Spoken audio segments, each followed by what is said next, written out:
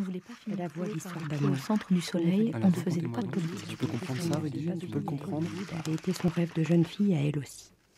Roger de la Porte, bonjour. On a beaucoup de plaisir à vous accueillir pour la sortie d'un nouveau livre que vous publiez, en l'occurrence Histoire d'eau, Histoire d'os à Évreux, euh, publié aux éditions Ravet en Sceaux. Alors, c'est une nouvelle histoire de l'inspecteur Landier, désormais célèbre. C'est un personnage récurrent euh, qui, en l'occurrence, est principal de collège. Et euh, au sein de son collège, il y a un élève euh, qui pratique le trafic d'eau. Oui. Bah, C'est-à-dire que c'est un élève euh, de banlieue, et dans les banlieues, on a de l'imagination, même si on n'a pas d'argent, et l'imagination... Il est malin d'ailleurs, ce gamin. hein. C'est vrai qu'il est intelligent. Il et... est, pas- il est tout à fait normal, simplement, bon, au niveau des études, c'est pas tout à fait son truc. Non. Euh, moins en plus, il a eu, le, le pauvre, la malchance de tomber sur un, une ré- une ré- un petit bout de réforme où il devait faire, étant faible quand même en français, il devait faire du latin. Ce qui était quand même astucieux à l'époque. Euh, Les plus, les plus faibles, il était conseillé de faire faire du latin aux élèves les plus qui est une théorie comme une autre. Ça a un peu changé. Bon, enfin bon. Euh, donc lui, il a, il a de l'imagination, et puis après tout, pour faire de l'argent, après, il récupère les autres qui vont de toute façon sans ça aller au crématoire. hein, Alors, c'est un gamin gentil, il est amoureux est d'une petite, euh, d'une petite blague, euh, Malika, qui est jolie est comme tout. voilà, il, c'est- voilà, il est normal. Et il, il vit dans un système euh, économique, euh, j'allais dire, parallèle, en quelque sorte, euh, dans lequel il va finalement être entraîné, de même que son père, euh, qui était une connaissance euh, de Landier, puisque son père euh, l'a commandé pendant la guerre d'Algérie. Oui, alors euh, effectivement, alors ça c'est un souvenir un peu personnel. Enfin, personnel même, puisque j'ai effectivement été assez ami à l'époque avec mon chef de section, hein, qui était d'ailleurs le nom à peu près le même. Abdel Djebar, hein, c'est le même nom. À peu près, Abdel-Jabbar, c'était à peu près pareil. Hadj, parce qu'il était censé avoir fait le, le pèlerinage à la Mecque, je ne suis pas sûr d'ailleurs. Mais enfin, bon, bref, on ne va pas discuter là-dessus. Mais le- le- je m'entendais très bien avec, c'est moi qui faisais ses lettres, enfin, c'était. euh, euh, à l'époque, c'était comme ça, quoi, si vous voulez. Comme on dit, il avait du flair et il savait commander. Il savait commander, puis en même temps, il, il avait du flair. hein.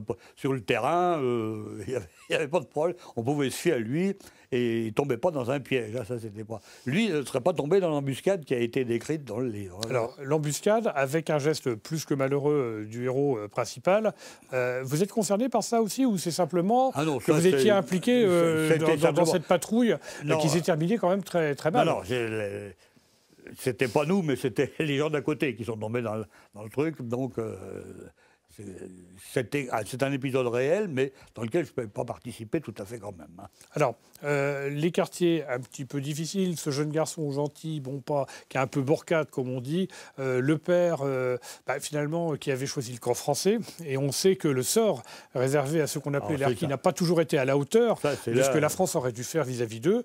Bref, c'est des histoires qu'on connaît, et puis il y a une sombre histoire autour d'un groupe de néo-nazis qui veut s'emparer du pouvoir. Alors là, vous allez loin là quand même. Oui, mais enfin, vous savez, on n'arrête pas le progrès.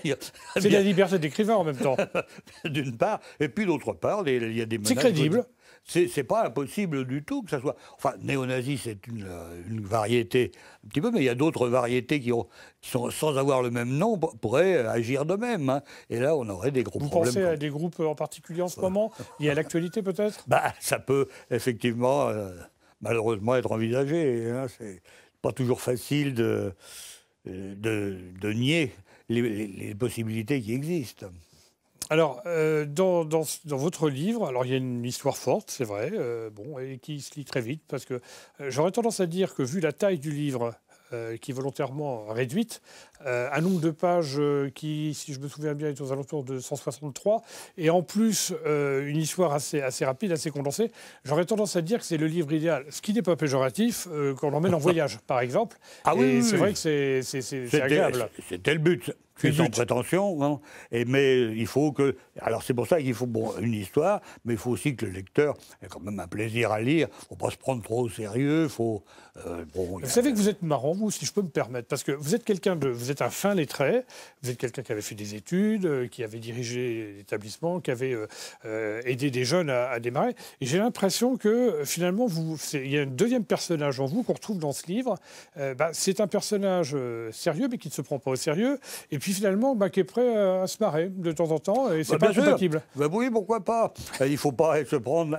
faut- si vous voulez, il y, a, euh, il y a des choses. Alors, l'humour, euh, maintenant, l'humour est une arme. Quand je raconte l'histoire des, des, des référents canins, si vous voulez, si- bon, c'est marrant, etc. etc. Alors, on va pas dire Non, de quoi il s'agit, mais c'est- vrai que c'est surprenant. Voilà. C'est surprenant, mais c'est quand même un petit peu pour montrer que vous avez des tas de jeunes en difficulté. Et qu'est-ce qu'on leur offre comme boulot?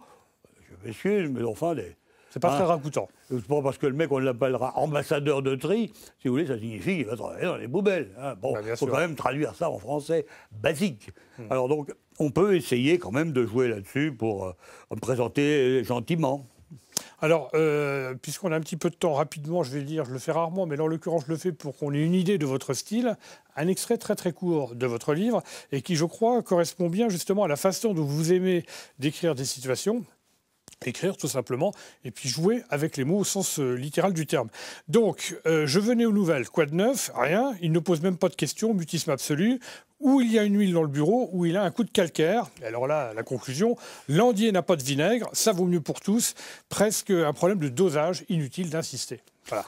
Alors, euh, il y a. Voilà, J'aime c'est- beaucoup cela. Ça, vous savez, c'est le langage, comme vous utilisez, comment, Audiard, dans, les, années Ouais. 60. Non, mais je- ah, mais oui, oui, c'est vrai. C'est- Mais c'est vrai que le, le coup du calcaire avec le vinaigre et puis a- avec l'huile, euh, bon, euh, oui, pourquoi pas, je veux dire. Mais- Ah non, non, non, mais c'est pas, pas proche. Mais c'est vrai que c'est un style qui est quand même volontairement très direct, très imagé.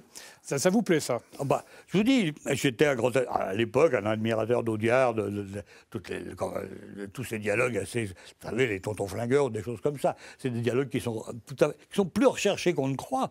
Il, est- il faut calculer pour arriver à ces dialogues-là. C'est pas comme ça, simplement. euh, et, c'est, à mon avis, euh, bon, ça- puis ça détend, hein, ça détend. ça. Il faut que le, le lecteur ait un certain plaisir, qu'il se pose des petits problèmes, mais pas trop.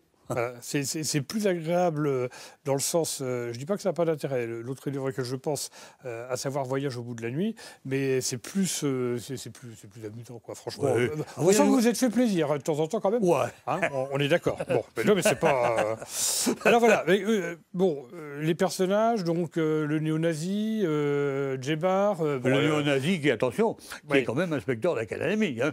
Ah, c'est un vrai faux inspecteur. Parce que le vrai, il, il s'en est un peu débarrassé au passage. Bon, alors voilà. Alors, donc, euh, il y a le fameux Momo, ses copains. euh, Non, voilà. non, bon, euh, vraiment des personnages très forts. Non, De- il- vous, vous verriez bien euh, une histoire comme ça, euh, euh, pourquoi pas adaptée à la télévision dans un téléfilm Ça vous ferait plaisir, Oh, ça? Oui, on pourrait toujours de toute façon enlever quelques bricoles le cas échéant, ou en rajouter suivant. À partir d'un schéma, on peut faire des tas de choses, hein, on peut adapter. Euh, Ça, c'est tout à fait possible. hein. C'est- Vous savez, ça me semble. Il suffit d'enlever quelques des choses qui peuvent choquer, parce qu'il faut toujours faire attention à ne pas choquer une communauté maintenant, parce que c'est vrai qu'il n'y a pas de raison d'attaquer. Attendez, les- ça n'a rien à voir avec Charlie Hebdo. Mais là, je euh. pense pas. hein, euh, je Non, ne choque aucune, aucune communauté. En même temps, vous abordez la, la question avec un sauf, les, chapitre sauf les néo-nazis, peut-être. Oui, alors euh, Là, ça- d'un côté, et puis euh, la, la guerre d'Algérie. euh, Et puis la guerre d'Algérie, bon, bah. qu'on l'appelait. euh, Mais la guerre d'Algérie, moi, ce que je voulais, c'est Ça laisser... s'appelait pas une guerre d'ailleurs à l'époque, c'était les événements. Non, non, non, non, c'était c'était comment la- la- le maintien de l'ordre. Voilà, On n'employait pas le terme guerre d'Algérie. Non, non, non, non, ça n'a été reconnu comme guerre que beaucoup plus tard. hein, c'était pacification et maintien de l'ordre, c'est marqué sur les livrets militaires. ça. Et la, la guerre d'Algérie, si vous voulez, pour moi, ça a été un moment quand même capital dans ma vie. Et qui a marqué votre vie, indéniablement. Ça, ça se voit et on le comprend très bien. Mais écoutez, euh, Roger Delaporte, merci encore d'être venu nous parler de cette fameuse histoire d'eau, histoire d'os à Évreux, très surprenante, avec des rebondissements et un final auquel, quand on démarre le livre, on s'attend absolument pas. Donc c'est ça aussi qui, qui est Ça, intéressant. J'espère. Ah non, mais je, vous- je vous le confirme. Je rappelle que ce livre est publié aux éditions Ancé Ravo. Merci beaucoup.